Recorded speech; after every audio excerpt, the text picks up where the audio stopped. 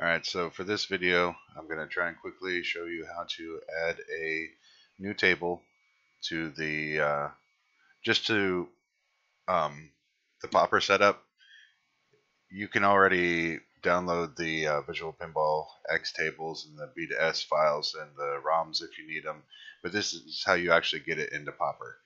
This assumes that you've already launched it through Visual Pinball X and everything works right.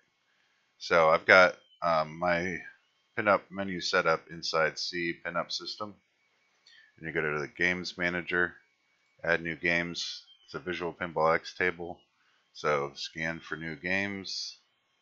It says it found 18. Um, I'm choosing this one, Rob Zombie, because I actually removed it originally because the backglass file wasn't working.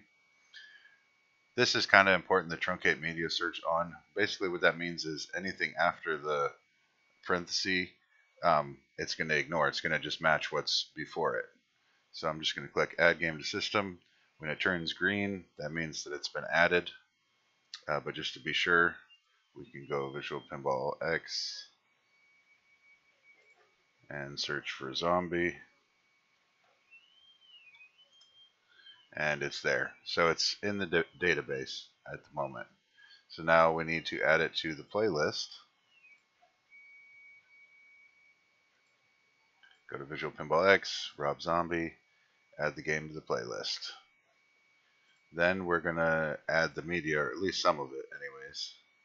Some of it's already there. Zombie again. Now you can see the, these that are green. That means I already downloaded them.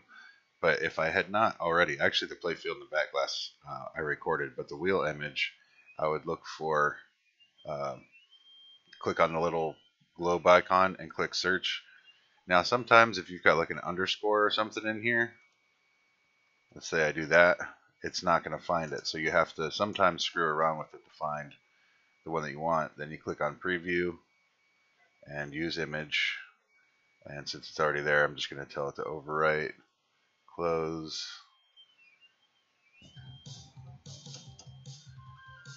And now I'm going to look for the table.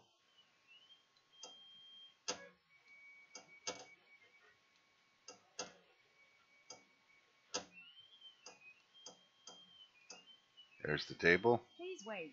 I am now loading up the game. Have fun. There it is.